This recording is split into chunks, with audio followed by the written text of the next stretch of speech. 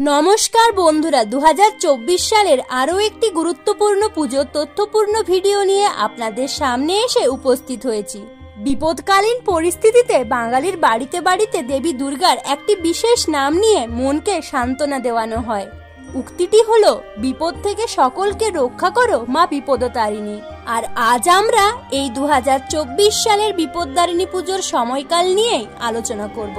প্রচলিত পৌরাণিক তিথি ও পঞ্জিকা মতে প্রতি বছর আষাঢ় মাসের রথযাত্রা ও উল্টো রথযাত্রার মাঝের সপ্তাহের মঙ্গল ও শনিবার দিনেই এই বিপদদারিণী পুজো, অর্থাৎ দেবী মা কালী বা মা দুর্গার রূপের পুজোর প্রচলন হয়ে আসছে বহু কাল থেকে। কথিত পৌরাণিক কথা মতে মায়ের এই রূপের পুজো করলে মা নিজে সকল বিপদ থেকে মুক্তি লাভ করতে সহায়তা করেন। বিশেষত এই পুজোর দিনগুলিতে বাঙালি ভাই বোনেদের বাড়িতে নিরামিষ আহার হয়ে থাকে।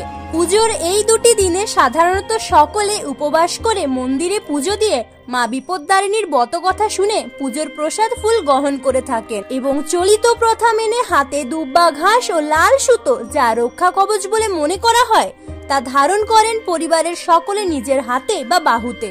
তো আসুন এবার আমরা জেনে নিই এই বছর বিপদদারিণী পুজোর তারিখ ও পুজোর সময়সূচি। দু হাজার চব্বিশ সালের প্রথম বিপদদারিণী পুজোটি হবে ইংরেজির নয়ই জুলাই তথা বাংলার চোদ্দশো সালের চব্বিশে আষাঢ় মঙ্গলবার দিনটিতে। এবং দ্বিতীয় বিপদদারিণী পুজোর তারিখটি হল ইংরেজির তেরোই জুলাই ও বাংলার আঠাশে আষাঢ় শনিবার দিনটিতে। সাধারণত বাঙালি মায়েরা তাদের সুবিধে মতো এই দুই দিনের মধ্যে একদিন এই পুজোটি শ্রদ্ধা ও ভক্তি এবং সকল নিয়ম মেনে করে থাকেন। আশা করি ভিডিওটি আপনাদের পছন্দ হবে। কোনো মতামত বা বক্তব্য থাকলে ভিডিওটির কমেন্ট বক্সটিতে লিখে জানাবেন। আপনাদের আগামী জীবন সুখের হোক, এই কামনাই করি। ধন্যবাদ।